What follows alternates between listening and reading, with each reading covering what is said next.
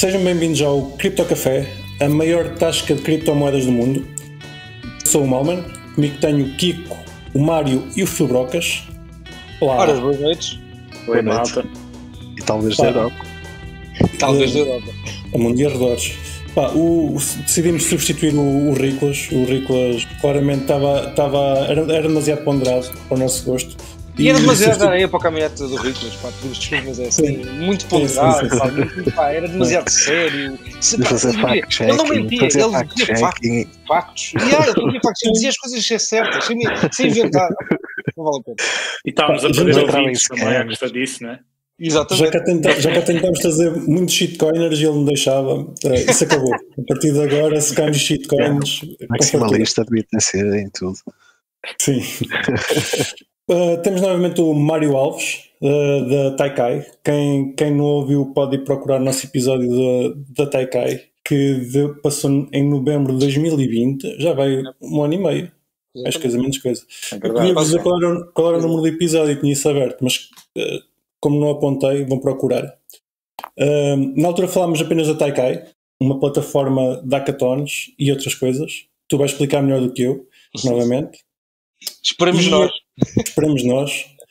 E agora a Taikai. Ou vão, ou vão ouvir o outro episódio, não é? Exatamente, também podem ouvir o outro episódio. claro. quero, quero, exatamente, sim, sim, sim, sim, sim, claramente. O outro episódio é para falar da Taikai. Neste episódio vamos falar um bocadinho da Taikai, ver como é que foi o, o, como é que ela se comportou de novembro de 2020 até agora, e da Bipro, que é a nova. A nova um, projeto? Novo, protocolo? Projeto, sim, protocolo que pertence agora até Taikai também. Foi adquirido Isso mesmo, ou seja, foi uma aquisição da Taikai e agora juntamos aqui forças uh, com a Bipro no futuro da, da descentralização. É esse o nosso objetivo. Impecável.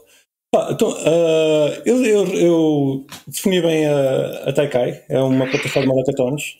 Dirias Epá, que sim? Acho, acho que é sim, mais... assim, de forma muito resumida, acho que é isso mesmo. É isso mesmo. E de novembro... já, deixa-me só fazer umas perguntas, mal, já por curiosidade e porque também já não me lembro. Aliás, nem me lembro, durante este, desde que a gente falou a última vez, pá, só para o pessoal ter noção quantos hackathons mais ou menos é que vocês fizeram. Pá, tirasse o número para o ar, mais ou menos. Epá, nós neste momento já temos mais de 100, uh, portanto diria que desde novembro de 2020 até agora, pá, devemos ter lançado entre 70 e 80 uh, hackathons. Top. Um, Incrível. Portanto, Caros ouvintes, façam as contas, é mais do que um por mês. Atenção. Exatamente. Isso é mais abertos agora também, portanto. Ok. E diz-me uma coisa, eles são por onde? São de, tipo online todos ou há físicos também? Como é que está o seu processo? Sim, epá, nós começamos em 2019 muito focados no, no físico, porque na altura uhum. era, era, o que a malta uh, gostava. Sim. A partir de 2020, tudo online. Uh, agora já começamos a ver alguns uh, offline, vamos estar também presentes num que, que, vai acontecer num formato híbrido, ou seja, está a acontecer agora online, mas depois vai ter ali um momento no Dev Connect para a semana. Um, pá, e acho que cada vez mais o futuro acaba por ser esse, acaba por ser o híbrido, porque se tornares a coisa online, no fundo dás mais tempo uh, e espaço para os participantes poderem desenvolver projetos mais interessantes e não tens o constrangimento dos venues e das logísticas todas, não é? Uh, e até podes ter um momento tipo demo day ou, ou um momento mais, mais formal em que assim pode ser presencial e que podes, podes fazer umas coisas diferentes um, pá, que, eu acho que, que eu acho que é o que está a resultar e vai resultar cada vez mais. E de, pá, de tudo o que vocês têm feito, quais são aqueles projetos que tu gostaste mais pessoalmente? Tipo, o que é que eles tu dirias para os top 3 para ti, tipo a nível pessoal? Epá, o, o que eu mais gostei, uh, que está no meu top 1, é claramente o da Kanda Weather, pá, que okay. basicamente um, Kanda Weather também, uh, também está ligado ao mundo, ao mundo Web 3 um, e o Hackathon era para desenvolver um dashboard para prever um, a previsão meteorológica, para ajudar os, os, os agricultores africanos uhum. um, a poderem tomar melhores decisões, ou seja, ia um bocadinho além do, do típico qual é, o, qual é o tempo a que vai estar hoje, não é? ou seja, tinha mais dados do que isso.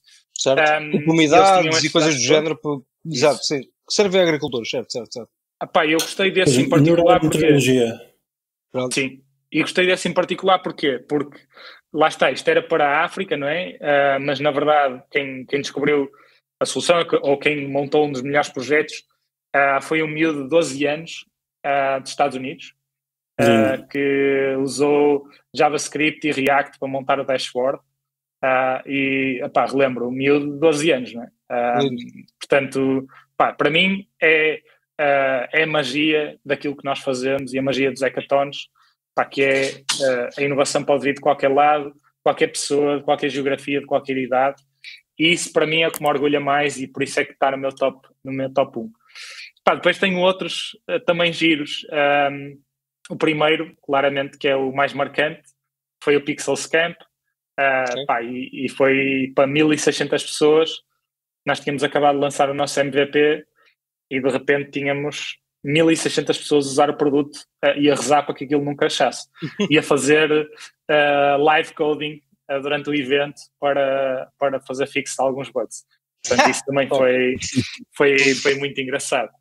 Um, e portanto, pá, eu acho que esses são, diria, os, os, os mais, os que mais me marcaram. Uh, pá, mas depois há malta que tem, tem obviamente outros interesses e pá, social impact também temos tido alguns uh, muito interessantes da, da Gulbenkian. Um, pá, tivemos um interno agora há pouco tempo do TikTok, um, do US. Opá, coisas assim engraçadas e às vezes maradas, mas que, mas que é isso que nos, que nos orgulha no, no final do dia. Ok. E, pá, tô, e com blockchain, desculpa. Força, força. E com blockchain Boa. e Boa pergunta. Um, o que me leva um bocadinho aqui à nossa, à nossa estratégia e à nossa visão, que é cada vez mais começar a focar nesse tipo de, uh, de organizações e de parceiros, empresas Web3, um, empresas e não só, ou seja, comunidades, universidades. Uh, nós temos aqui uma missão uh, que é começar a pôr a malta também a aprender mais sobre, sobre este tema. Um, pá, e se nós olharmos para a estatística, temos cerca de 18 mil uh, Web3 uh, developers no mundo, uh, comparando com 20 e tal milhões de developers a nível mundial de, de todas as, as, linguagens e de, todo tipo de programação. Portanto, estamos a falar de uma cena muito 0. pequena.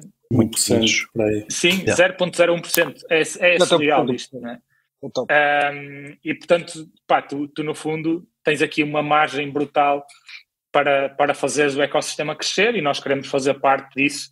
E portanto, respondendo à tua questão, uh, Kiko, uh, temos tido alguns parceiros interessantes, alguns deles nomes grandes como Solana, um, como Harmony, uh, pá, e depois outros mais pequenos, uh, como uh, o Telos, Caduchas, Uh, pá, agora o, uhum. vamos ter o Hamster Based, que é, que está tá relacionado com, uh, com o Def Connect para a semana. Okay. Um, e portanto temos trilhado o nosso caminho e cada vez mais queremos trazer mais empresas Web3 uh, e mais blockchains a usar a nossa plataforma, não só no ponto de vista de hackathons, mas também do ponto de vista de, de bounties uh, para, para o produto da, da Bipro, que sei que já lá vamos, portanto não vou Sim. entrar em muitos detalhes. E vais ter tempo, não preocupes, acho que vais ter tempo para dizer para a parte do Bipro. Pá, e que eu pessoalmente gosto muito e também já usei, nós na Real Fever também já usámos. Um, epá, acho que é um produto que é muito bom, pá, tem, tem muito potencial para crescer. Acho que ainda está no início. Eu também sou um gajo bué pá, objetivo. Aquele é incrível e está no início, portanto, tipo, a oportunidade é só para cima e é ótimo para quem quiser entrar e começar a mexer. Mas acho, já, já vamos perguntar o que é que, é, que, é, que é Bipro. Sim, mas calma, um... calma, calma que ainda quer fazer mais perguntas sobre o atacar, meu. Porque repara, eu, pá, eu, mal, mano, vais fazer uma pergunta, não vais? Estás vou, morto, fazer uma pergunta, então faz lá a tua pergunta. Não, não tem, tem, que fazer cheque, tem outra maneira de fazer cheque. Vocês ainda usam telos? Ainda usamos, desculpa? Telos? Telos, sim, ou seja, neste e momento. Não se arrependem uh, usamos... da escolha? Uh, usam e não se arrependem da escolha? Ah pá, uh, é assim, basicamente um, tem, isso, isso tem duas respostas, não é? Uma a nível de tec tecnológica ou de produto, que aí continuamos satisfeitos porque realmente é uma rede rápida. Um, os gajos estão, estão a desenvolver, uh, ou melhor, já desenvolveram a EVM deles, portanto, uh, eu acho que estão a querer cada vez mais distanciar-se do EOS e da Block One. Um, pá, isso, isso, no fundo, acho que nos orgulha a todos, não é? porque todos sabemos que Block One e EOS acabou por ser um fiasco. E, ah, foi uma experiência falhada, digamos. Foi, não tem mal, sim. não tem mal. Tipo, é o que é. É o que é. Sim, epá, mas, mas se tu pensares bem, a Block One ainda continua a estar sim, sentada sim. Num, num monte de, de tokens e cripto e dinheiro epá, yeah. que, que, na verdade não, não está a ser usada para fomentar a comunidade, não é? Ou seja, eles estão, eles estão num barco a afundar Sim, sim. e uhum. a pôr mais, mais coisas em cima do barco para ele se afundar mais rapidamente. Certo? Mas, pá, mas no fundo, até a luz é um bocadinho diferente uh, e tem sido, tem tido uma postura um bocadinho diferente e portanto nós continuamos a usar telos. Isso o que é que nos traz de, de mal, entre aspas? Não nos dá tanta visibilidade e não permite tantas coisas como nós queríamos, uh, como, um, ehm, como ter o nosso token, o nosso CAI num, num RC20, um, mas isso acabou por ser, uh, por ser também mitigado agora, agora com, com a questão da Bipro. Um, uh, ah, e, portanto, nós continuamos a usar telos neste momento, um, mas no futuro uh, a solução passa por migrar para uma, para uma EVM. e, portanto, tentar também uniformizar aqui aquilo que temos a nível do roadmap, também com o produto da Bipro e o produto da Taikai, que eventualmente vão culminar num só. Pá, posso votar um bocadinho de alfa aí, por acaso. Pá, porque lá está, porque nós, nós na Real Fever também temos uma situação semelhante, que é analisar um bocadinho agora o que é que está disponível, porque, uh, pá, vimos a Polygon e a Polygon é tipo horrível, estás a ver uma experiência de utilizador que eu falho imenso, pá, muito mal. Uh, muito pior que a, BSC, para quem, já agora para quem é técnico e está curioso em querer lançar projetos, pá, experimentem as duas para perceber porque é que nós optamos pela BSC e não pela Polygon. Um, ou porque nós nos mantivemos até agora na BSC. Mas uma que eu tenho estado a testar e que estou a curtir é que é a VM Base da Pulse Chain, a Pulse Testnet, atenção. Mas olha, é uma dica que eu dou, pá, experimenta se tiveres tempo, que, pá, é testnet, mas, pá, se a mainnet for pá, 50% do que é testnet, já vou ficar super satisfeito. É rápido e pelo menos até agora está tranquilo. É mais uma, é mais uma opção. a verdade, a verdade é uma, não é? Ou seja, uh, indo um bocadinho atrás, em 2018 nós não tínhamos EVMs. Certo. E portanto Exatamente. nós tivemos que tomar aqui uma decisão uh, que era melhor para, para o nosso negócio. E na altura, claro. Uhum. Exatamente. E agora, olhando para o mercado, quer dizer, na verdade, nós podemos ir para qualquer EVM e Exatamente. no dia a seguir migrar para outra, não é? Uhum. Um, e, mas em 2018 é não era assim, tens razão, mas tu tens razão, em 2018 não era nada disto, nada disto. O mercado é que anda rápido demais. O mercado é que anda Sim, rápido. Infelizmente. Nós falamos de 2018 como se tivesse sido há tipo há 20 anos, estás a ver? É ridículo. Não, não, foi há 20 anos no mundo cripto. Isso, isso foi mesmo, isso foi mesmo. Não, não, só queria dizer que não, não é só o mercado, é a tecnologia. Uma casa, é. mas o, o terreno continua a mexer, não é? Exato. Isso, isso. Não está definida. Ok. Sim, um, desculpa. Não, não, eu por acaso eu, eu queria fazer mais uma pergunta, mas agora passou um bocadinho. Tens alguma para fazer, Malma? Desculpa. Eu, eu uh, sim, uh, já, já desvendaste um bocadinho o mistério que vocês agora têm um novo token da Bipro uh, com a aquisição, mas na altura, quando cá estiveste, falaste-nos que existia um token que era o KAI, que uhum. ainda não tinha um valor, possivelmente ia para o mercado. Já tem valor neste momento e é possível ser transacionado ou essa parte foi adiada? Essa parte foi colmatada com, com a aquisição da Bipro. Okay. Ou seja, o nosso objetivo é. Uh, nós tivemos até agora a usar o KAI como, como reward dentro da plataforma. Uh, sim, não funcionava como incentivo financeiro, mas funcionava como layer de gamificação uh, dentro da plataforma e também como, como token de votação.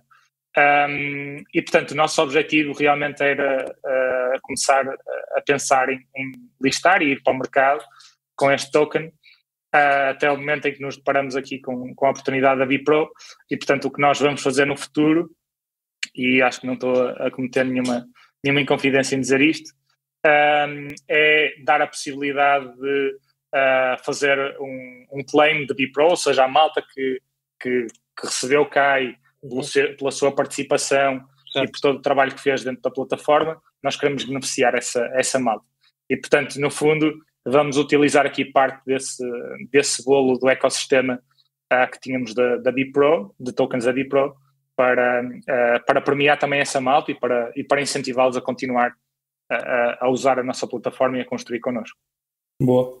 Ah, então, se calhar vamos já para, para a Bipro. Já temos estado aqui a desvendar um bocadinho. Espera, espera, já me lembrei, já me lembrei, mal. Ok, desculpa. força. eu lembrei-me, lembrei-me agora começou, quando disseste isso, o Sattler literalmente fez feliz na minha cabeça.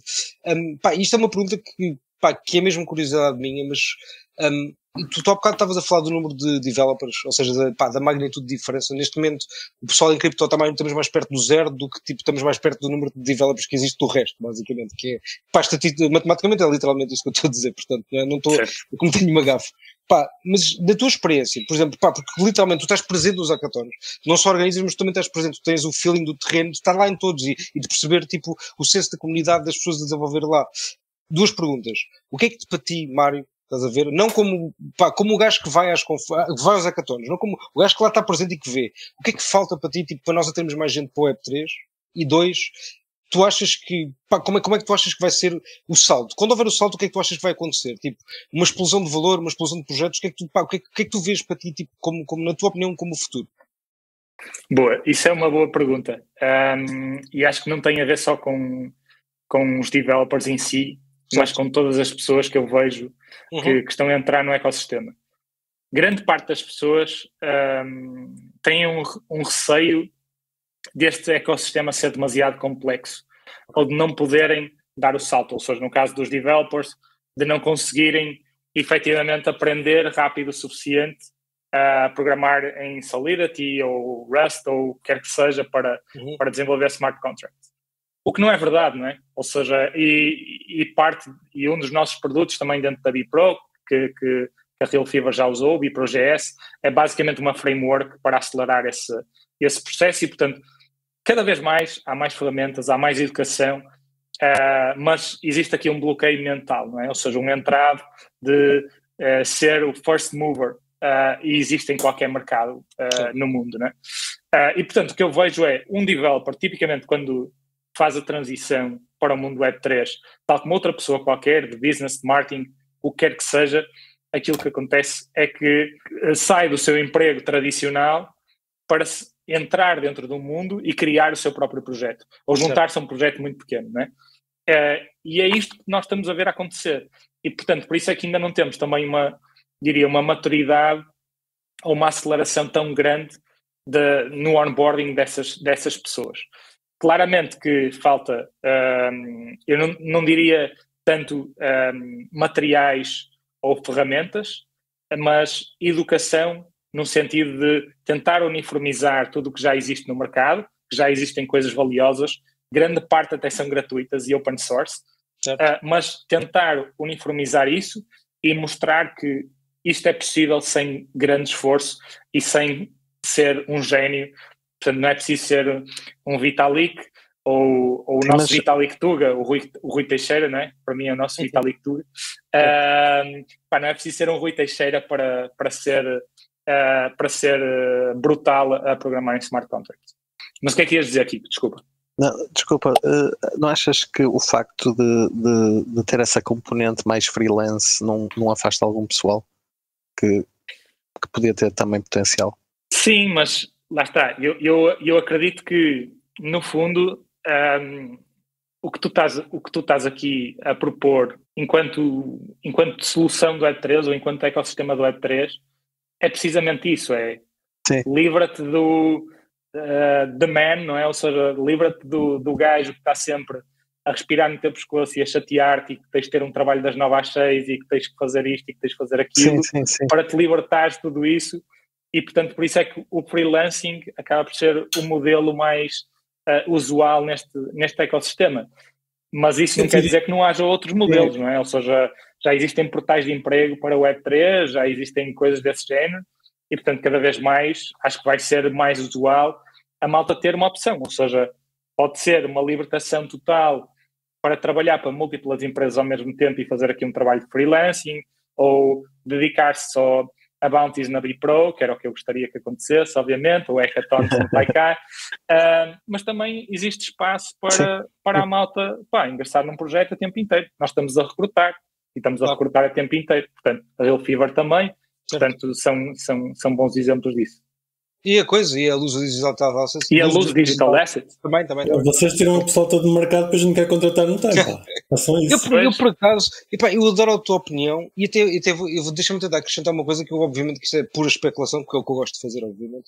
Um, mas epá, o que eu sinto muitas vezes de falar com malta é que eles olham para, antes sequer de conhecer o mercado, uma coisa que o Mário diz que eu concordo é o medo. Ou seja, o medo porque eles olham para a cripto como uma incerteza. Pá, para eles, cripto é igual a incerteza.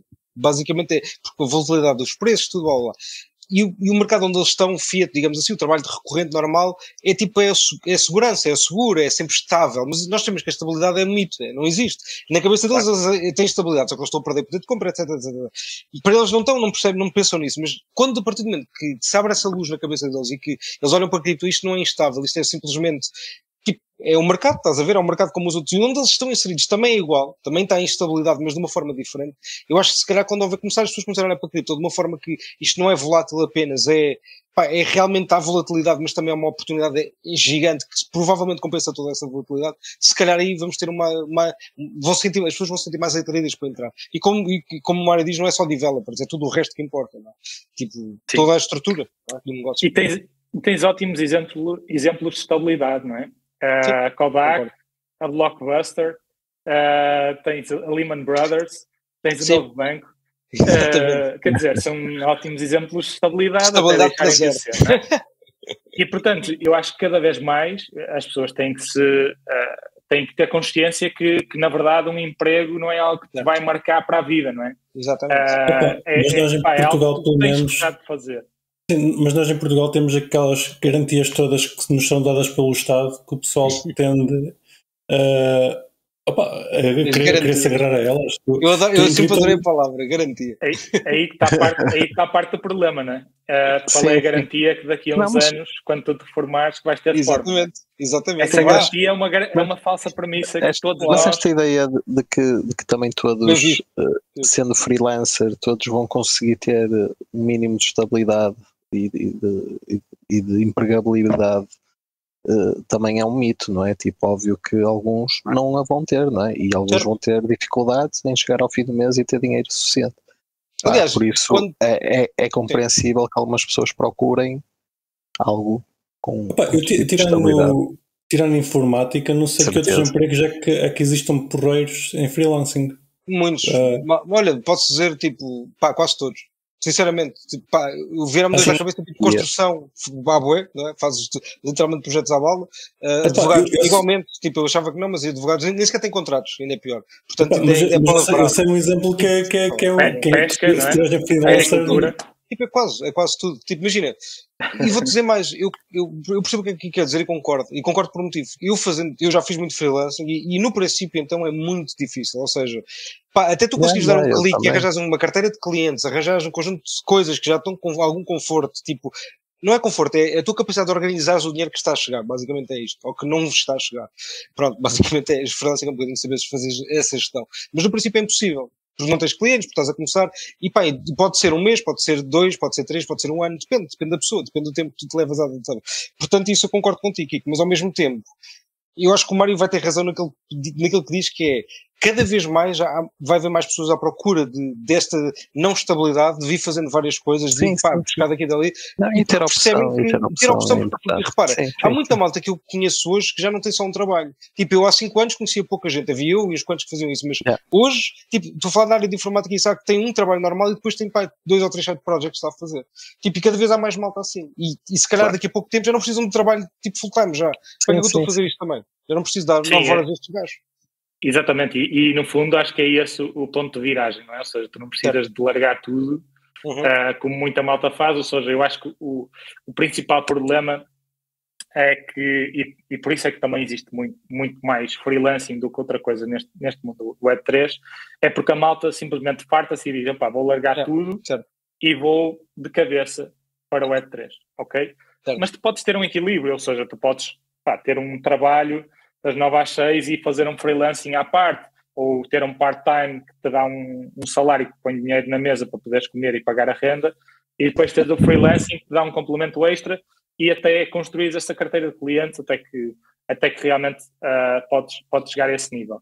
Mas isto é outra coisa que eu acho que é muito importante, que é, nós estamos aqui a falar uh, no mercado europeu, uh, em que nós temos aqui algumas garantias, entre aspas, do Estado. Se nós formos para outros mercados, sobretudo mercados emergentes, Isso não acontece. Ou seja, para é. eles o freelancing é o normal e é o tradicional. É uma grande vida. nuance é que ganham muito mais a fazer freelancing para uma empresa tech Web3 do que a ganhar, pá, a fazer outra coisa qualquer no país deles. E às vezes é o mesmo trabalho. É que às vezes é, é o, mesmo, trabalho, trabalho. Exatamente. É o mesmo trabalho. Tipo, e sim, portanto, sim. com uma hora de trabalho, se calhar compensa para o oito ou mais, eu diria mais, mas, mas pronto, uh, para não, para não uh, sobreestimar, uma hora de trabalho compensa-lhes por um dia de trabalho no, no mercado deles. E portanto, se nós pensarmos também desta forma, pá, há malta que, uh, um exemplo, que participa em, em bounties da Bipro, pá, que pagam, imagina, 100 dólares.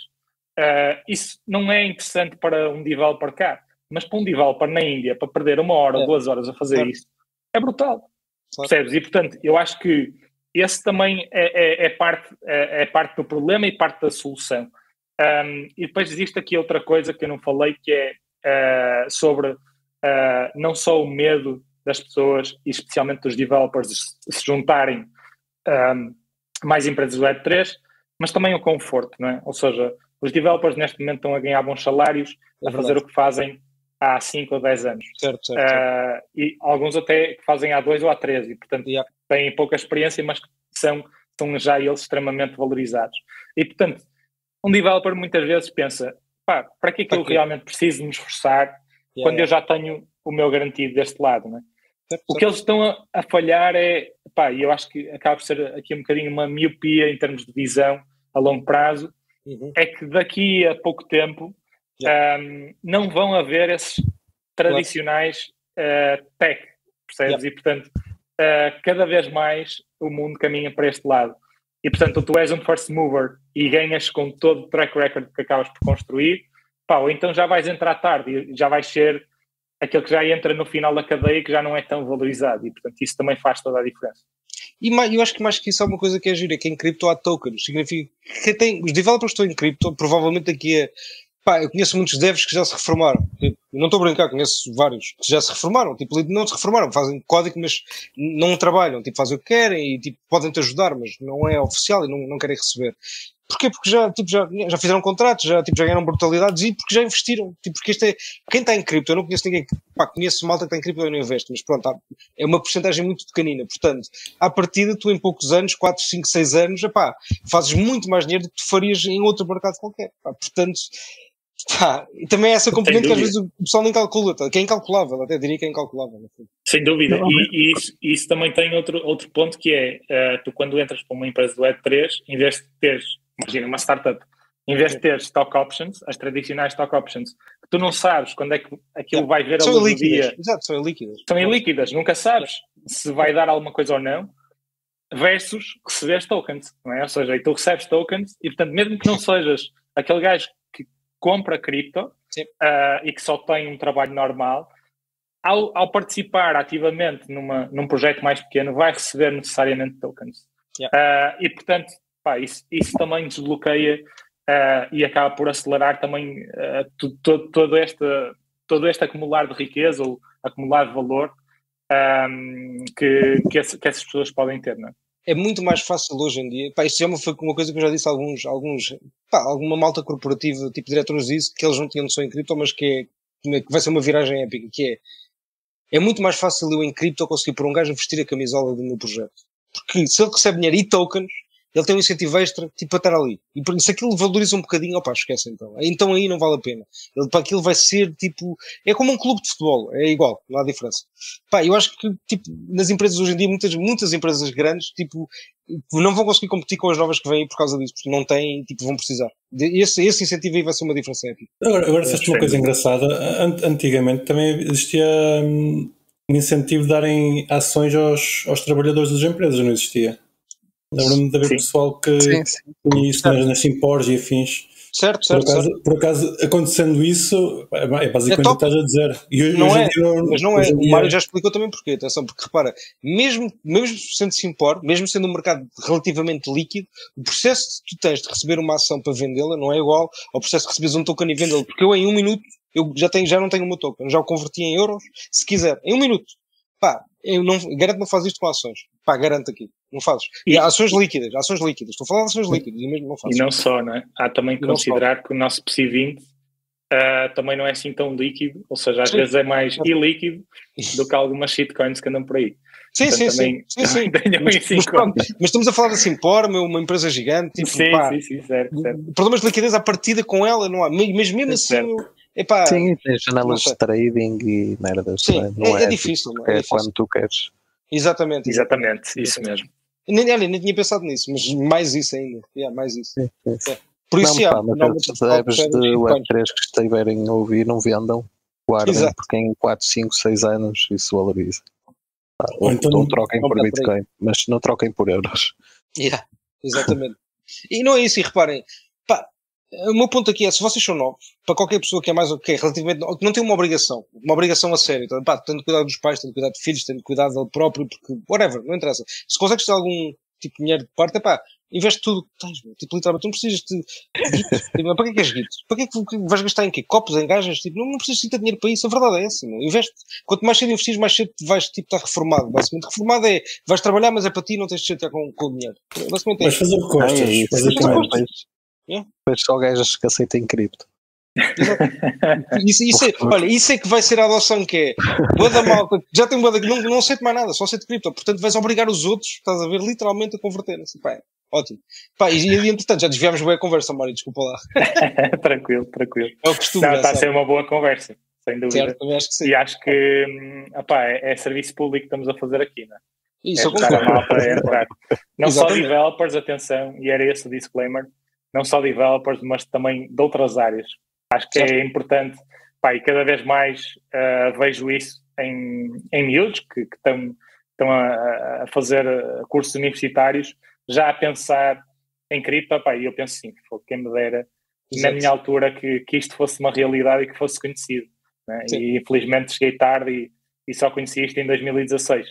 Porque realmente eu se calhar preferia, em vez de, em vez de ir a festas e, e investir em copos, Uh, preferia se calhar muito mais investir em Bitcoin se soubesse que aquilo existia na altura. Não, é mesmo isso. Pá, e, e por, por, acaso é realmente, é, hoje em dia, eu acho que uma pessoa quando começa a investir, pá, para mim foi cripto que me levou para investir a sério, pá, tudo na vida que olho para trás, tudo passa a ser visto como um investimento. Ou seja, pá, o tempo que eu perdi a jogar um jogo, o tempo que eu perdi a ir para discotecas, tipo, imagina, se eu já tinha namorada, tipo, para quê? Tipo, já tens namorada, já não vale a pena, já não precisas, é um investimento social já não precisas de fazer, porque já, já tens, já daquilo já tens em casa, tipo, para quê? Não já tens mais, agora vai aprender outra coisa. Mas nós não vemos a vida assim. Mas realmente, tipo, pronto, é o que é um gajo aprende quando vais ficar mais velho, mas pá, para os mais novos, olha, se puderem investir, pá, invistam, vale a pena. Sem dúvida. Bipro, meu. Mal, Malman, queres arrancar com o Bipro? Epá, eu, eu só estamos aqui a fazer serviço público, como vocês estavam a dizer, e da última vez que cá, cá esteve o, Mário foi na altura das eleições dos Estados Unidos, não sei se vocês se lembram. Certo. E nós dissemos que se o Trump ganhasse, o Bitcoin ia subir, e que se o Biden ganhasse, o Bitcoin ia subir. E acho que acertámos todos, portanto, uh, não precisam. Estava, estava a 14 mil dólares, acho que me fala por si. Acho que as nossas Exato. previsões batem sempre certo. Podem confiar em nós a 100%, no fundo. Sim, sim, sim, sim. Uh, nunca então tem que vir mais vezes. Pá, se isso Exatamente. significa subida de tokens, vem todas as semanas, pessoal. Fica já garantido. Epá, também não, não queremos bulls sempre, depois um gajo não pode fazer nada, não dá para construir nada, é impossível, está tudo maluco. Isso é verdade, isso é verdade. Então, Mário, conta-nos sobre a Bipro. O que é que é a Bipro? Aliás, pá, antes da Bipro, é que, não, não, não, como é, como é que começou? Como é que começou? Imagina, tipo, pá, o ataque à Bipro, certo? Porque no fundo houve uma operação, não é? Uma operação daqui de Sim. Como é que foi essa história? Se podemos saber, Opa, Não, essa história, essa história é fácil opa, de contar.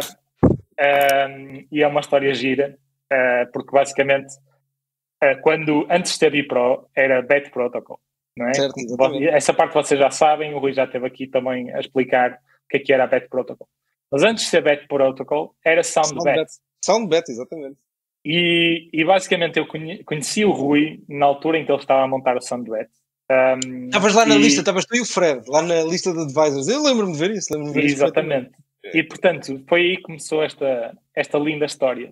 Uh, e portanto, eu comecei a ajudar enquanto advisor na SoundBet e depois Bet Protocol e depois a, o, as coisas encarreiraram-se encarreiraram-se e, e, portanto, eu comecei a construir também as minhas coisas, até que, uh, portanto, neste, nesta jornada de pensar em soluções para listar o token e, e fazer crescer, um, crescer o negócio e tudo mais, pá, andei aí a falar com, com, com alguma malta uh, que já tinha uh, também uh, estado envolvido neste tipo de, neste tipo de cenas.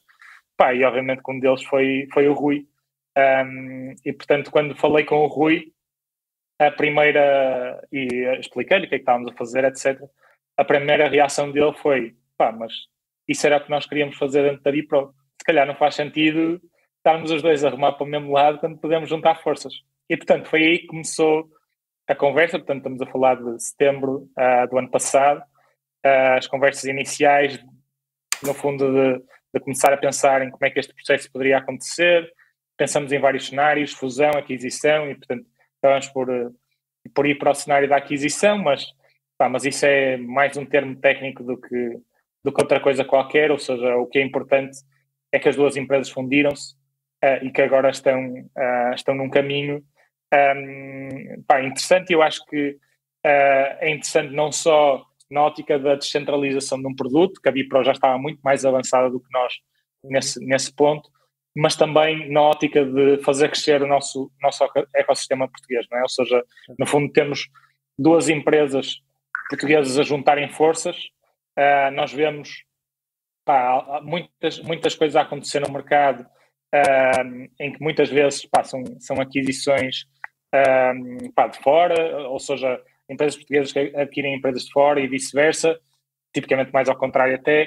Pá, eu acho que fazer o ecossistema crescer como um todo um, é o que faz é o que faz sentido, não é? E portanto o Rui sempre teve essa perspectiva também de valorizar o nosso ecossistema um, e ele tinha outras propostas em cima da mesa também para aquisição um, de fora, de fora de, de, de, Portugal e portanto para ele também não fazia sentido, ou seja, fazia muito mais sentido no fundo entregar o seu bebê a alguém que ele conhecia, que já tinha vindo a acompanhar todo o processo e portanto foi assim que também as coisas avançaram uh, e, que, e, que agora, uh, e que agora estamos juntos. Portanto, se calhar passo para, para a pergunta do Malman, Exato. que é a Bipro. É agora, não, mas antes é... disso, estou a brincar, estou a brincar. Podemos fazer um parte 2, pessoal, só para explicar a Bipro. Exatamente. este episódio é estendido, é estendido, não há problema. Exato. então, basicamente, Bipro. Um, Bipro, no fundo, como, como vocês sabem, começou como BET Protocol. BET Protocol era um protocolo uh, descentralizado para betting e, portanto, eles, eles ajudavam uh, casinos online e, e outros uh, produtos de gambling a ter aqui uma, uma, uma framework, um protocolo descentralizado. E, portanto, isso acabou por mais tarde evoluir para outra coisa, ou seja, eles perceberam que para gambling realmente o processo burocrático e legal era muito chato em cada geografia eles tinham que, pá, que estar ali a batalhar a nível legal uh, e, portanto, começaram, decidiram fazer um pivot para aquilo que é a Bipro hoje em dia, que é, no fundo, um protocolo para desenvolvimento descentralizado. Ou seja, se nós pegarmos no caso de, da, da Bet Protocol, no fundo, a Bipro serve para betting, serve para uh, DeFi, serve para qualquer indústria uh, dentro, de, dentro do mundo Web3 um, que, que, possa, que possa existir. E, portanto, aqui o objetivo. Dirias que, que, que a Bipro é o, a framework do, do, dos projetos, serve como framework o esqueleto. Certo, nós temos no fundo a Bipro, um, aquilo que tem uh, é no fundo dois produtos, ou seja, um que é o BiproGS, uh, que no fundo é uma framework de desenvolvimento e de bootstrapping de, de projetos do Web3, ou seja, tu podes criar um token, lançar um NFT, um, lançar um projeto DeFi, uh, criar mecanismos de staking, utilizando a framework que já existe e, e, os exemplos que já existem. E, portanto, em vez de estares a, a ver na Tens algum, e... algum projeto que te lembres que, tipo, de grande dimensão, Opa. incrível, que te lembres que esteja a utilizar essa framework? Assim, algum. mas tem de ser incrível, uma coisa, tipo, excelente. Português, eu não português. me lembro. Eu, exato, português, eu não me lembro. Assim, de repente, assim de repente acho que é difícil. Uh, temos, temos alguns interessantes, mas não estou a ver assim nenhum português. Uh, não, na verdade temos a Real Fever. Uh, e acho que é o nosso, diria que é um, o nosso use case bandeira, aliás, já foi mais do que publicitado e, e anunciado também na, nas, nas nossas redes, portanto, é realmente um use case muito interessante. pá, que nós usamos para mostrar pessoal que querem construir um marketplace de NFTs, a Real Fever já, já o fez utilizando BiproJS. Que, uh, by the way, uh, vou largar o nome BiproJS porque sofreu um rebranding há pouco okay. tempo, agora é DapKits, uh, para ter aqui um nome mais, mais, mais interessante a nível de marketing e para nós podermos também chegar a mais empresas. Portanto, okay. isso é um dos produtos.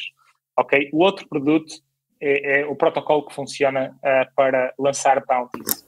e, portanto, quando falei em desenvolvimento centralizado, era muito nessa lógica de uma empresa chega, uh, chega à Bipro, uh, conecta-se com a sua, com a sua MetaMask um, e uh, lança um bounty para a comunidade sobre pá, um desenvolvimento de uma, de, um, de, uma feature que quer fazer ou até de uma app inteira, se assim o desejar. Enfim, as possibilidades e, e, e as indústrias, mais uma vez, nós somos completamente agnósticos.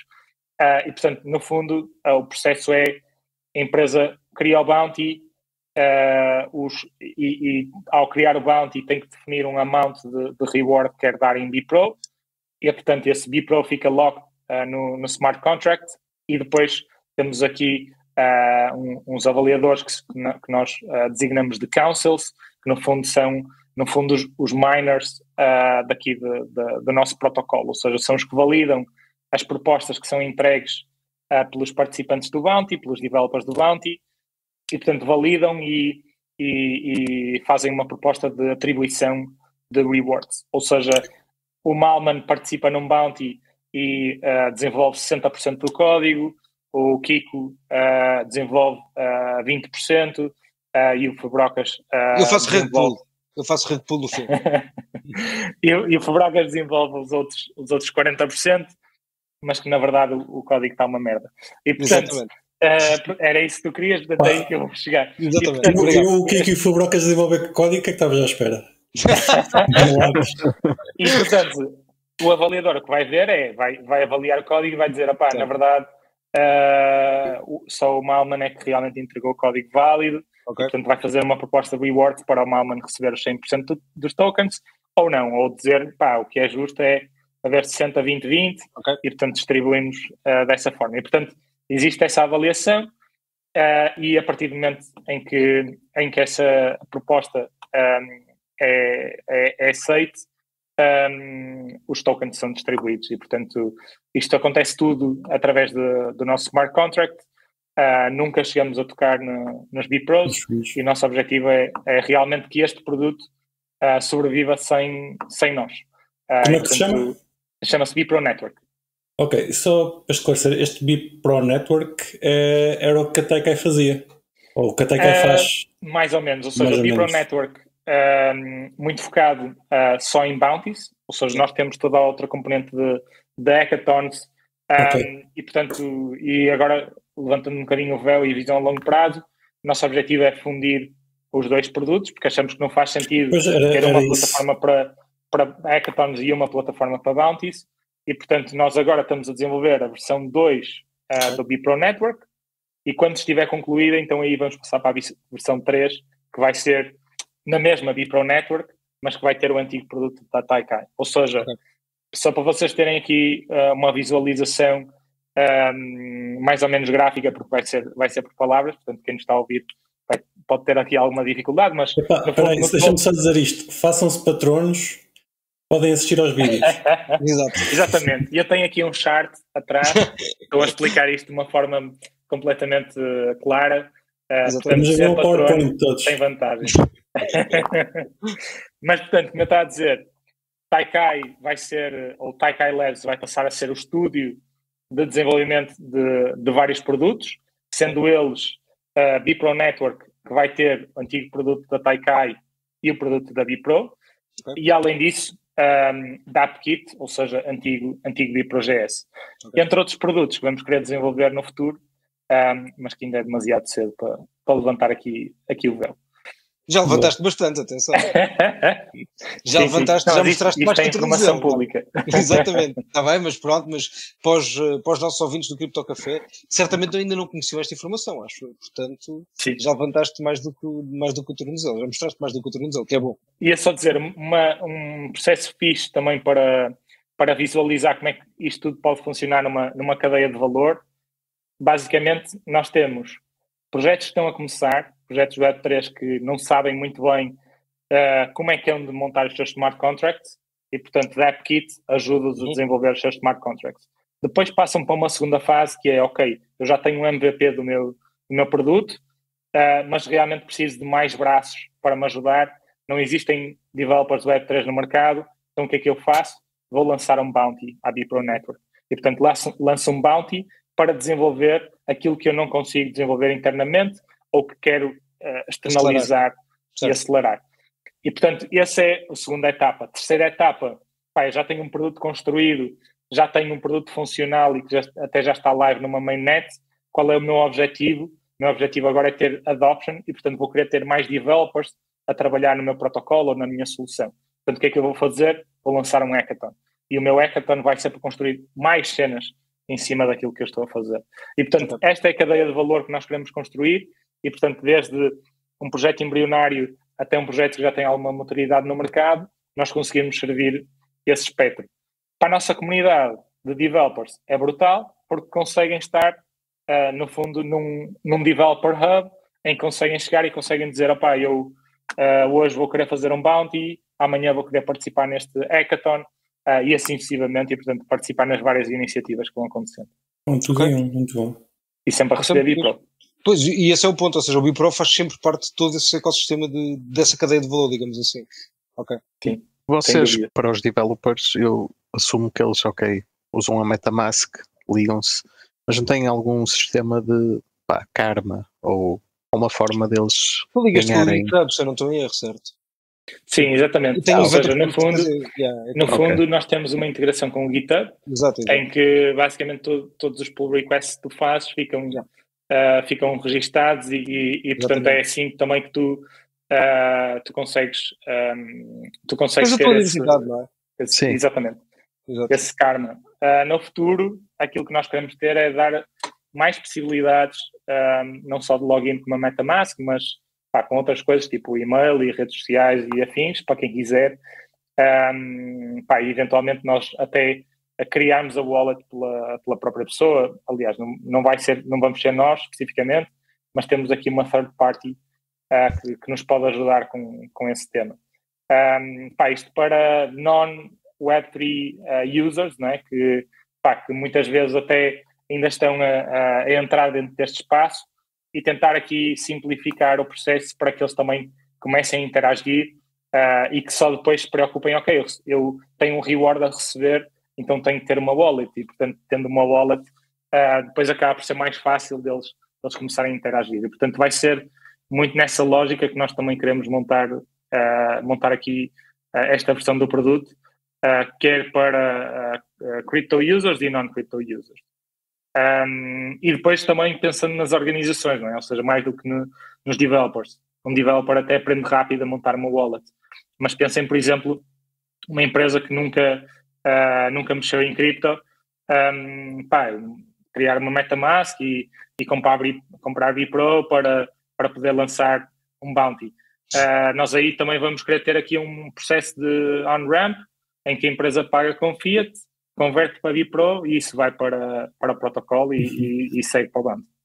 Pá, a primeira vez que, que na Real Fever que eu, pá, que eu estava lá e que, que, disseram, que me disseram que era o cliente, ou seja, que queriam fazer pacotes de NFTs e vender a malta que gosta de futebol, pá, eu rimo, sinceramente eu rimo disso, mas vocês acham que a malta que gosta de futebol tem Metamask? Estás a ver? Tipo, achas que eles sabem o que é, uma, o que é Fever? Achas que eles sabem o que é, pá, o target, ou seja, qualquer projeto de cripto, o target inicial é a malta que é cripto, estás a ver? Porque é essa malta que usa. Pá, posso, agora vou brincar um bocadinho, Mário, espero obviamente não leves a mal, e eu claro. digo isto como utilizador, como utilizador. Pá, vamos, vamos abrir para o network, pá, primeiro conecta-te à Moon River. Aqui, desculpa, aqui, como é que funciona? O que é isso? Eu não sei o que é isso.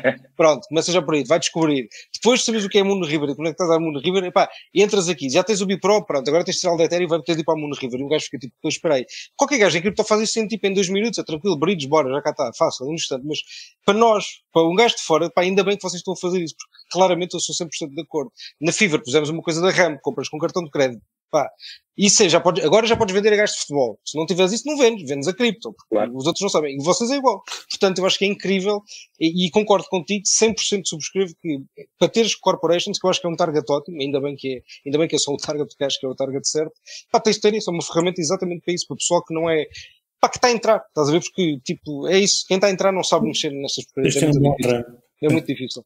Sim, sim, sim. Isso mesmo. Pá, é isso, concordo 100%. Pá, top, e fico mesmo satisfeito que isso seja uma iniciativa meu. Parabéns. Acho que é incrível.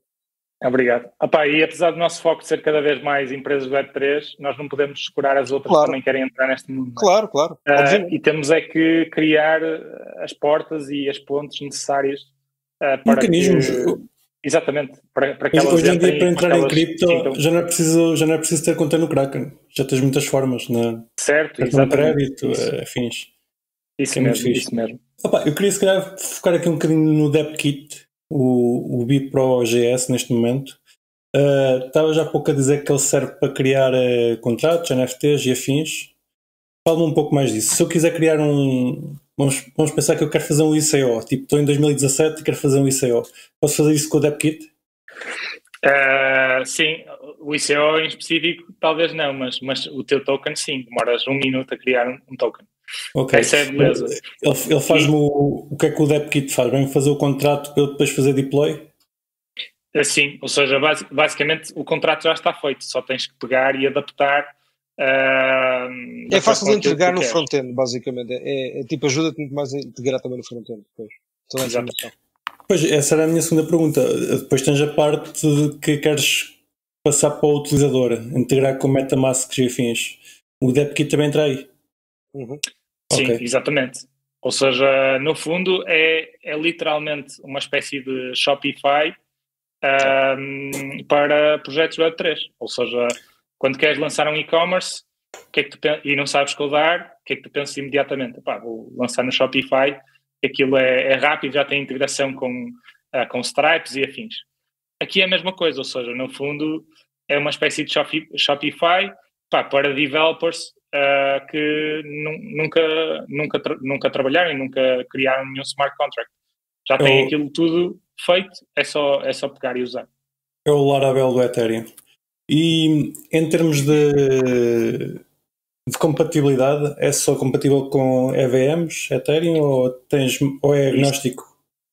Uh, neste momento, um, ehm, tudo o que é uh, assim, Ethereum uh, ou EVM, ou seja, tokens RC20 uh, e uh, RC721 para, para NFTs. NFTs.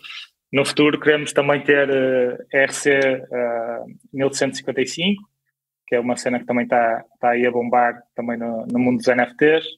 Uh, e, epá, e recebemos também aqui uma dica da, da Real Fever muito interessante, uh, que é um projeto de, de NFTs está a usar, que é, que é a Azuki, um, pá, criaram um novo standard. Uh, basicamente disseram, pá, isto, isto não está bem feito, então vamos criar um novo standard para, um, para, para um token de NFTs, um, que é o RC721A, pá, que é muito mais eficiente a nível de custos de transação e, e, e, tudo mais, e portanto, pá, e também estamos a olhar para isso, porque o nosso objetivo, no fundo, o que é que é? É ter o máximo de, de soluções possível para tu chegar lá, chegares lá e escolheres, não é? E portanto, pá, quero isto, quero isto, quero isto e, pá, e lanças o teu projeto em poucos minutos. Mas vão ficar só em, em Ethereum, EVMs ou vão pensar noutros blockchains mais menos ortodoxos? Pá, para tipo já. Cosmos e coisas parecidas. Essas Sim. coisas ninguém mexe. ah, pá, para já o nosso foco é, é endereçar uh, 80, 90% de, do, do, mercado, não é? Que eu acho que está tudo em firme um, no futuro não, não digo que não, ou seja, e não digo que haja aqui uh, use cases interessantes a serem, a serem usados.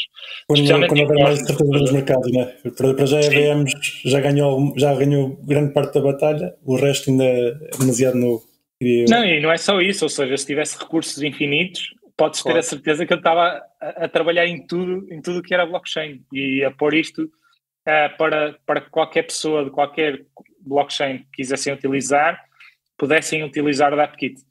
Uh, neste momento, pá, não, ainda não conseguimos, ainda não estamos nesse ponto, um, pá, mas estamos a olhar também para Cosmos, não tanto pela questão do DAppKit, mas também pela questão de, epá, de vermos também como é que é o processo de criação de uma blockchain e, um, e estamos a olhar também para isso um, um bocadinho por força de um, de um projeto europeu que estamos envolvidos. E portanto estamos a, pá, também a pensar e a considerar outras, outras opções que não apenas vocês têm, uh, têm um dos vossos clientes é Crypto.com, eu acho que eles estão, estão assentes em, em alguma coisa relacionada com Cosmos. Portanto, Sim, no, Sim opá, na verdade eu acho que eles estão, estão, estão assentes em, em várias coisas, não é? porque eles têm vários também. produtos certo. Um, e tentam usar várias coisas ao mesmo tempo. Mas sim, mas acho que Cosmos também é uma coisa que eles estão a explorar neste momento. Um, e que carteiras é que é possível usar com o DAppKit? Eh, eu, houve um dia enganei-me e usei, usei a Real Fever e eles obrigaram-me a usar a, o Metamask. Um, é, possível, é possível usar mais alguma coisa além do Metamask? Ou neste momento é, é Metamask? Neste momento acho que pá, não, quero, não quero estar enganado uh, e o Elder que me perdoa se estiver a ouvir isto, um, mas acho que o Elder é o meu CTO. Uh, acho que é só Metamask para já. Ou seja, o nosso objetivo é ter Metamask e Wallet Connect pelo menos uh, numa fase inicial, uh, pá, porque tu com o Wallet Connect consegues depois desbloquear montes de, montes de wallets uh, e acelerar esse processo também. Uhum. No futuro, pá, podemos, ter, podemos ter outras wallets, mas acho que para já estas são as, as, mais, as mais pedidas, digamos assim, também de feedback de clientes. Tens mais alguma questão, Fubrocas? Pá, não, eu pá, acho que já fiquei super esclarecido. Uh, acho que, Mário, pá, tu conseguiste explicar tudo novamente a Taikai. Uh, pá, para quem não ouviu o primeiro, mas acho que recomendo na mesma ouvir o primeiro, porque é giro ver a evolução dos projetos, pá, eu acho. Um, epá, mas conseguiste sim, falar um bocado de tudo, sinceramente. Pá, eu fiquei super esclarecido. Não é que a gente não tenha falado já durante as últimas semanas, mas uh, foi em termos profissionais, portanto. Uh, pá, foi fixe, foi, foi fixe estarmos aqui há um bocadinho a conversa outra vez. Um, epá, avaliar como é que as coisas têm, a correr a fixe, sinceramente. Pá, e, tá, tá, e, e é Tenho que trabalhar pá, num, num, num DAppKit para DeFi. Soluções Sim. DeFi. Sim, também dá, também dá para DeFi. One click. One click. Um, ou seja, basicamente, uh, use cases que nós temos, como disse, tokens e, e uhum. NFT marketplaces, temos também DeFi, temos prediction markets, por causa uhum. da, da, da Polka Markets também, também usa, também usa DAppKit um, e soluções de governance e de staking. Uhum. Uh, portanto, estas, estes são os use cases que nós temos para já. Uh, pá, também queremos um, começar a fazer coisas com a comunidade, uh, por exemplo, hackathons, em que usam o AppKit para construir mais use cases, portanto, que faz aumentar aquilo um, de, forma, de forma exponencial. Portanto, esse é o nosso objetivo, ou seja, mais uma vez, DAppKit é open source, um, e portanto nós estamos uh, uh, no fundo a construir uma cena okay. em, em, que pode construir em cima, não é? Esqueci-me de perguntar isso, é open source. Uh, sim, qualquer sim, pessoa sim. Pode, pode ser. E como é que vocês rentabilizam o DevKit? Uh, Não rentabilizamos, ou seja, acaba por ser, no fundo, também o nosso, nosso, nosso produto bandeira. bandeira, não é? Ou seja, nós mostramos aquilo como, pá, nós realmente percebemos disto. Não, Exato não, não, estamos, pá, não estamos aqui somente para ganhar dinheiro, porque, ok, é importante e nós conseguimos rentabilizar uh, a nossa empresa e os nossos produtos de outra forma, mas achamos que realmente isto era algo que faltava uh, no, no, ecossistema e, portanto, é, é free, sim, é open source, Boa. não tem nenhum catch, não, não vamos pedir a vossa seed phrase, estejam descansados. Uh, portanto... é, é fornecida logo com a carteira. brincar, vou brincar. Portanto, é isso. Uh, acho, que, acho, que, é, acho que é Deduzo que se precisarem, se precisarem de suporte vocês possam vender e rentabilizar-se um, um pouquinho por aí. Uh, se calhar vou perguntar a Fabrocas. Fabrocas, quantos milhões é que a Real Fiber já gastou em suporte? Eu diria, eu diria para cima de mil milhões, mas eu posso estar errado, eu não me recordo. Não tenho o número certo e pá, a minha memória às vezes falha, mas qualquer coisa como mil milhões passou a um número que é provavelmente certo, mas não tenho a certeza. Uh, portanto, diria que é algo assim. Não. Pá, mas eh, por acaso, por acaso eu digo já, eu acho que essa é a diferença, ou seja, realmente qualquer projeto pode utilizar aquilo, pode pá, pegar naquilo e utilizar à vontade, mas, mas é diferente, ou seja, tu ao trabalhares diretamente com, com a BIPRO, pá, estando nós utilizar a mesma, o tipo o toolkit que eles têm, pá, é diferente, porque dão, pá, é um apoio diferente, uma ajuda diferente no deployment, pá, tipo, dá para ter reuniões e para discutir ideias e para acrescentar e para mudar coisas, tipo, é diferente, é um processo completamente diferente. Um, pá, portanto, é, é, é uma integração que fazes com a equipa diretamente, então, por isso não é, não é, pá, recomendo, eu gostei imenso de usar, uh, pá, e obviamente podem usar, como, como o Mário disse, usem open source, não é, pá, usem à vontade, mas pá, pá, se querem suporte ou se querem discutir, não é? Coisas daquilo se calhar convém para pagar à empresa construir aquilo para terem acesso a eles, diria. Porque, pá, no fundo, ninguém trabalha de bordo, portanto, um, epá, e, estão, estão bem entregues, o meu ponto é esse, estão bem entregues porque, pá, eles sabem o que é que estão a fazer, basicamente. Melhor do que isso, é, na minha opinião, ou seja, não precisam de pagar à empresa que, que construiu o DevKit. Uh, conseguem lançar um bounty Exato, ou pedir isso, ajuda à malta. Yeah, yeah. Uh, pá, Melhor ainda. Isso, isso é melhor, exatamente, para nós ainda é melhor, não é? Ou seja, claro. um, porque aquilo que nós queremos construir é realmente produto, ou seja, nós não queremos estar a desenvolver projetos paralelos de, de consultoria, certo. porque esse não é o nosso modelo e não é o nosso foco. E, portanto, muito melhor do que sermos nós a ajudar-vos, é sim. pôr a comunidade Bipro a ajudar-vos. A própria comunidade Bipro já, uh, já olhou para o DevKit, já usou, já, já desenvolveu e, portanto, pá, isso ainda gera mais valor, não é? Uh, porque não fica dependente 100%. de nós. Um, e agora, também dando aqui uma, uma nota só para, só para deixar alguma água na boca, uh, a nossa única dependência uh, no, no produto que estamos a construir, que não, não nos torna 100% descentralizados, é o GitHub, certo? E, portanto, nós estamos a utilizar o GitHub através da APIs, e, portanto, é o, o nosso único ponto de, de centralização. Agora imaginem no futuro uh, se nós conseguíssemos ter uma espécie de GitHub descentralizado, um bocadinho à semelhança daquilo que a Radical uh, já anda a fazer. Um, pá, e se isso, se essa blockchain pudesse servir de base uh, de todos estes, estes, produtos. Portanto, isso também passa um bocadinho por, por ser um sonho nosso, embora não esteja ainda no roadmap, um, pá, de pensarmos que isso seria cereja no topo do bolo para tornar realmente isto não dependente da Taikai, nenhum outro uh, estúdio que, que, que, pegue nisto uh, daqui para a frente. Oh, Isso é um bom sonho, Mário, por acaso. É um bom sonho. sim, sim, sim, sim. Opa, Portanto, 2023, GitHub descentralizado pela Taikai Bipro. Pá, podem contar com isso, certeza.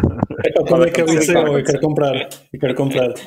Não, certo, mas é realmente um bom sonho. Era, era bom. Espero que, espero que esse dia chegue, meu, que alguém crie e que usem essa plataforma. Tipo, um GitHub descentralizado é brutal.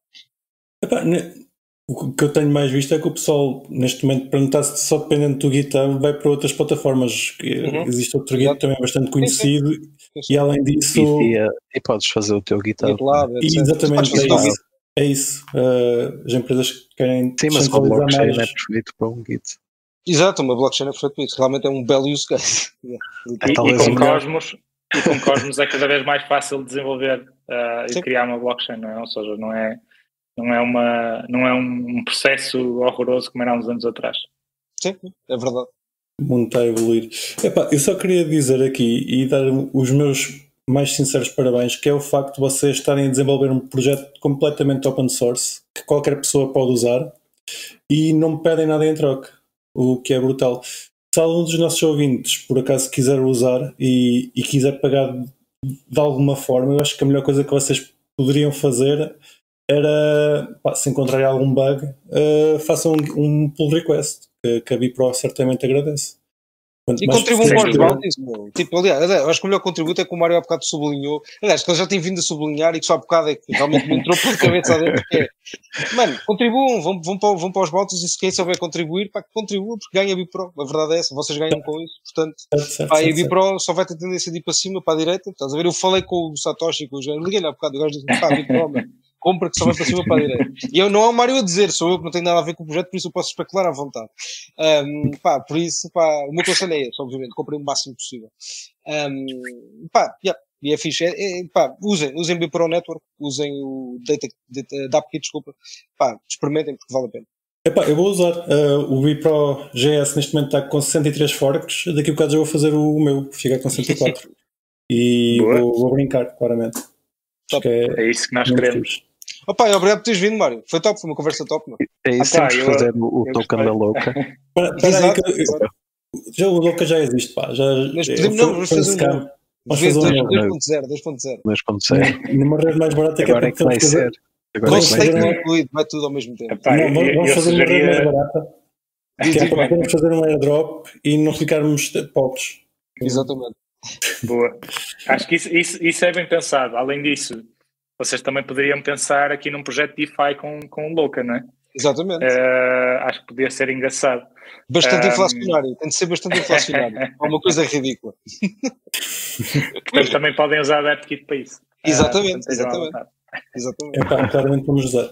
Pá, queria-te fazer mais uma pergunta antes de terminarmos. Uh, a primeira vez que cá tivemos, falaste que ias aos encontros do Porto que existiam. Uh, ainda existem? Ainda vais? Uh, sim. Ok. Na, na verdade, ou seja, uh, na verdade, uh, quando, quando a comunidade começou, um, começou a, ser, a ser criada aqui em Portugal, um, pá, eu comecei a, também a criar aqui uma comunidade específica no Porto, que era a Blockchain Center de Portugal, e era eu que, na verdade, organizava esses meetups, grande parte desses meetups, um, pá, e entretanto, também um bocadinho por, por força da pandemia, a coisa acabou por, por deixar de acontecer tão, tão frequentemente. Mas temos esse interesse, pá, e cada vez mais há mais pessoas um, no Porto, não só malta que, pá, que é de cá e que está a construir projetos cá, mas também malta que está a vir de fora pá, de projetos como Aurora, que é a, Near, uh, que é a RM de Near, uhum. uh, Jump Crypto, tens malta muito interessante uh, aqui uh, em Portugal, investidores incluídos. Portanto, pá, cada vez mais existe uma comunidade que deve ser ah, interessada e que deve ser trabalhada e que deve ser, no fundo, uh, exposta a algum networking, a conhecer-se e, e, e, a formar sinergias. E, portanto, nesse sentido, nós temos aqui também uma missão de começar a fazer mais coisas aqui no Porto. Por acaso, o ano passado fizemos uma, uh, uma, uma pequena festa uh, no âmbito de um, de um movimento que, que foi criado que se chama D-Night, uh, no qual a, a, Real Fever também faz parte, faz parte a, a Taikai, Talent Protocol, a Bipro também na altura, um, e, e, entre, outras, entre outras empresas, e o Trust, entre outras empresas de, do ecossistema português, em que o objetivo é realmente uh, trazer as pessoas e, e, pôr as pessoas todas, todas juntas no, no, mesmo espaço. E é um movimento centralizado, ou seja, começou em Lisboa, uh, depois foi para Braga, depois veio para o Porto, um, depois entretanto já houve mais coisas em Lisboa, na semana passada um em Braga, e eu quero trazer isso outra vez para, para o Porto, uh, porque, pá, no fundo juntas tudo tudo que é fixe, não é? Que é talks de cripto, um, música e copos, e portanto, uh, pá, acho que, acho que é a combinação perfeita. Quero, quero. Uh, diz uma coisa, para os nossos ouvintes que, que queiram acompanhar esses acontecimentos e estar presentes, qual é que é o melhor sítio? Pá, melhor sítio neste momento, uh, rede que mais usa é o Twitter. Uh, se alguém quiser procurar, meu handle é Mário R. Alves. Um, pá, e é onde eu comunico grande parte de, das coisas que vão acontecendo. Um, pá, quer sobre a Taikai, quer sobre o D-Nights, quer sobre pá, outras coisas Uh, até de vez em quando tenho que levar com fotos da minha filha e peço desculpa por isso, mas pronto, também faz parte. Uh, e é preciso sempre haver aqui algum spam, que é para a malta também não achar que eu sou um gajo assim tão sério quanto isso. Acho que Olha, muito bom. Epá, uh, só para terminar, acho que vocês têm mais alguma pergunta para fazer sobre projetos e afins?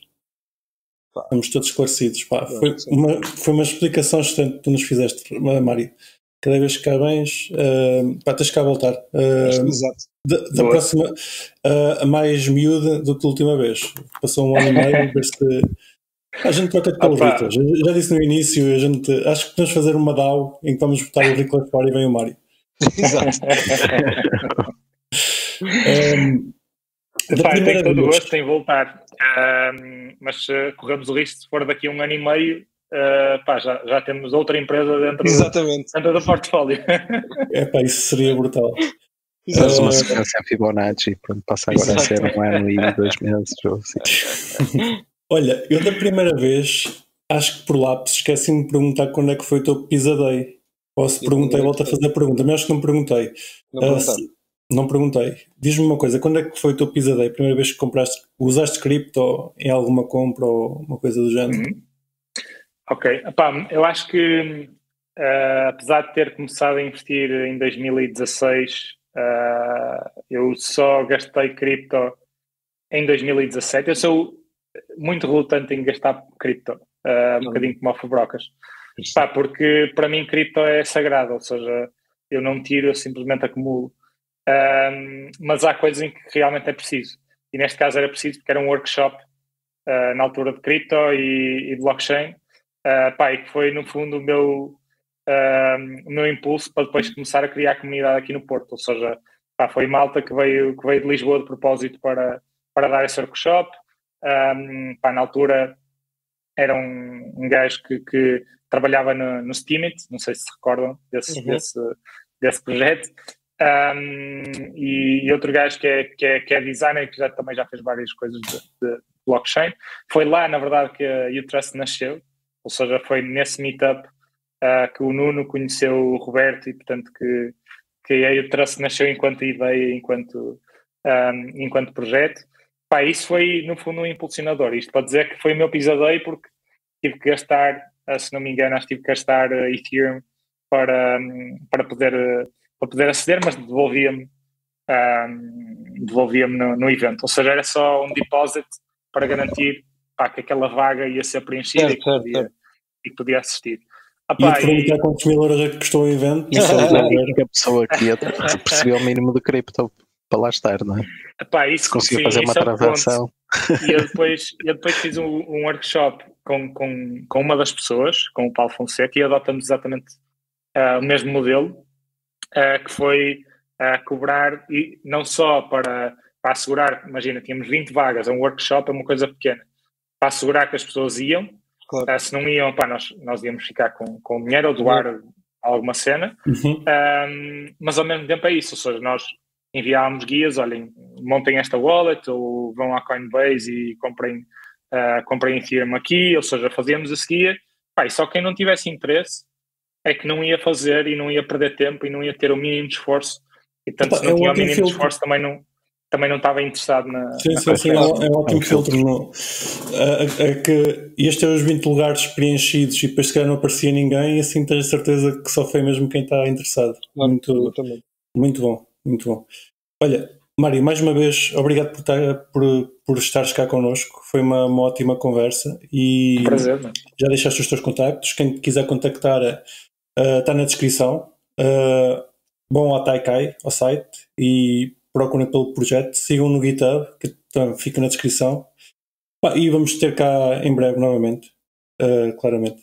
Boa.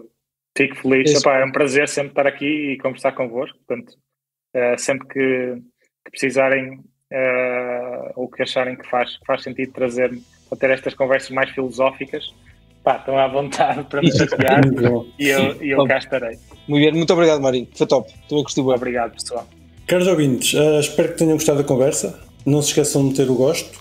Espero que estejam a ter uma boa Páscoa. Já tenham ido beijar o Senhor. Exatamente. E falamos para a semana. Bye bye. Tchau, tchau. Bye bye. Tchau. E comprem bilhetes Sim. para Morar em Rocon, que estão a acabar. Rápido. Muito obrigado, Marinho. E não se esqueçam de nos seguir na vossa plataforma favorita, seja ela qualquer podcatcher, Spotify, YouTube ou Library. Entrem na nossa comunidade crescente no Telegram ou sigam-nos no Twitter em CryptoCafé PT e partilhem este episódio com os vossos amigos. Até para a semana!